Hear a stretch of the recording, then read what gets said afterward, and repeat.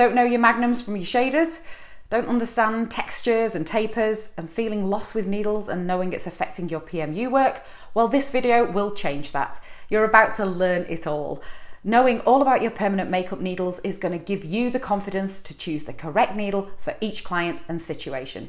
When I learned years ago, I learned a 1RL and that was it. And that's not suitable for most clients. Is that you too? And now you're searching for the best needle? There is no best needle, not for brows, not for lips. You're an artist and you have all this wide range of tools to choose from for all sorts of different results. Once you understand that, you'll open the door to so much more choice and creativity as well as safety. I'm going to split this video into nine sections and chapter them for easy reference. So let's get the worst needles out of the way. Are there any of those? Sure. Bad quality needles, cheap needles from dodgy sites that may not really be sterilised, and they'll probably tear your client's skin to bits. Avoid these. But what else would I avoid? Personally, I would avoid buying a machine that doesn't take universal needles. What does this mean? Universal means that the needles all have the same fitting to attach to the machine. So a universal machine is compatible with those. This allows you to choose from many different brands and styles. I like a different brand of needle for lips than I do for brows. A universal machine allows me to swap and change.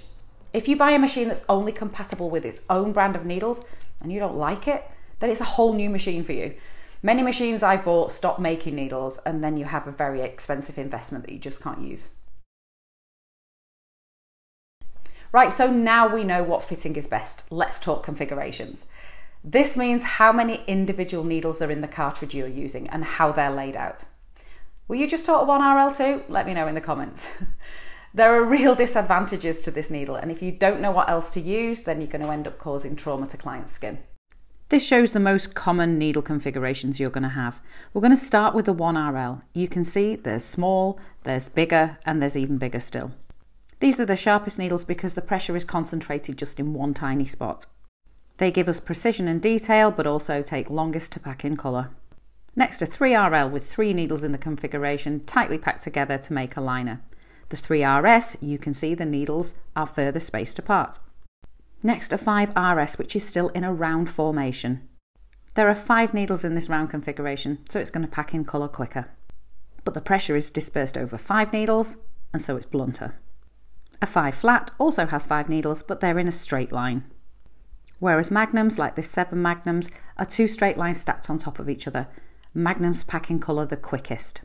So where do we find the info for our needle? Well, it's on the packet. Everything we need to know is there. Let's look at these two needle packages then. There's a lot of information on 35 1RL LTT, so many letters, but that tells us that each needle in this configuration is 0.35 millimeters. It tells us that there is one needle in this configuration. It is a 1RL, it's a one round liner. This is a liner needle, it's going to be sharp. Also, the LT means it has a long taper, and the final T is textured. Now that is quite big for a 1RL, 0.35, so it tells us the size of the needle and also all the other information about it.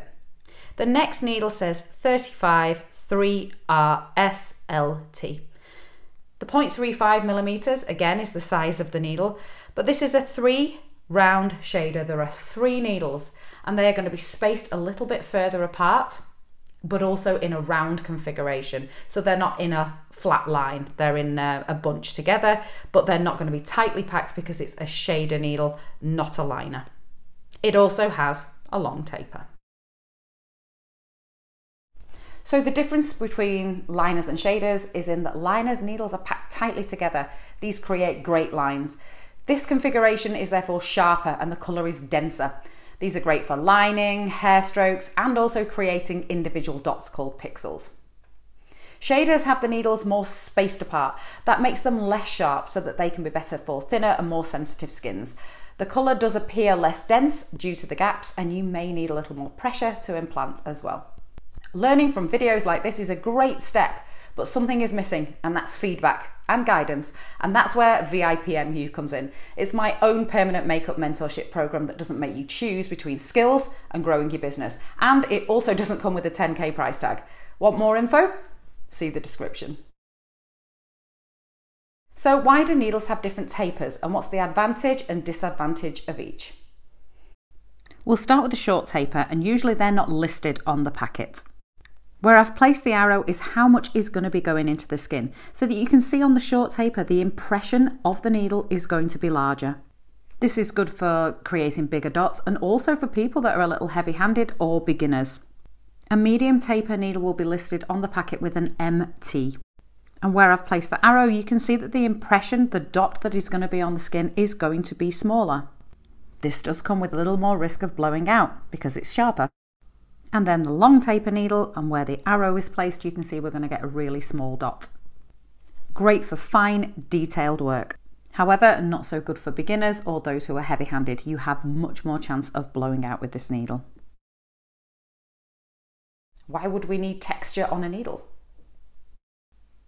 Textured needles are symbolised with a final T on the packet. It means that the surface of the needle is textured like the picture on the left rather than smooth like the picture on the right.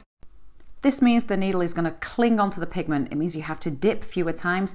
Also, it controls the flow of the pigment off the needle better. I really love a textured needle, especially for precision work. How far out of the cartridge should your needle be? Well, that depends on the stroke length of your machine.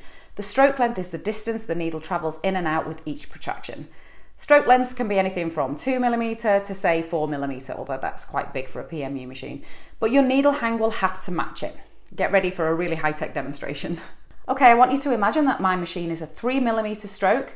My hand here is the cartridge and this is the needle that's going to travel into it. The cartridge is full of pigment that we've sucked up. So if we have the needle out at say 4mm, each time it goes in and out 3mm and some of the needle stays on the outside, it doesn't pick up all the pigment your needle's going to be dry, and also so is your work. However, if we have our needle out at one millimeter and it travels back the three millimeters, it's going to pick up too much pigment. This is going to flood your work. So the rule of thumb is if your work is looking dry, then pull your needle in. If your work is looking all wet and messy and flooded, push your needle out a bit. Simple as that. Knowing all your needle configurations then gives you the power to know when to change them if needed. You need to change your needle if things aren't going to plan. This can be if the pigment isn't implanting, if your client is showing signs of trauma, such as excessive lymph fluid and bleeding. In this case, you should be going for something that is a bigger configuration, so more needles and maybe more spread out like a shader or a magnum. In cases of lots of trauma, it's best to abandon the idea of cute little pixels and just get the pigments in and get out as quickly as possible. When choosing a needle, we need to take all the things that we've previously learnt into consideration, but also acknowledge who we are. Are we light handed or are we heavy handed?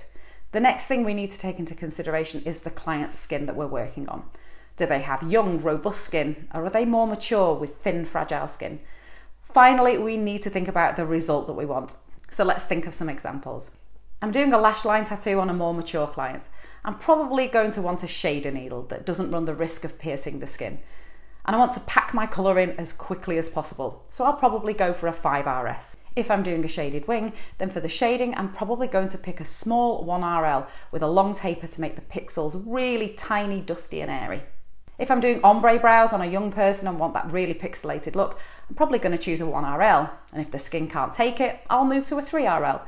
If I'm doing ombre brows on someone who's more mature and their skin starts to break down, then I'm going to use something like a 5RS or even a Magnum to get the colour in as quickly as possible with as little trauma as possible. If you need more information on which needles to work with on which skins and why, then I made this amazing visual learning video here. If your next step is to learn all the different hand movements and when to use them and see if you're doing it properly, then there's this video. It's choose your own adventure. And if you made it this far and if you learned something new, then you should probably subscribe so you don't miss the next educational video. Now, go and practice.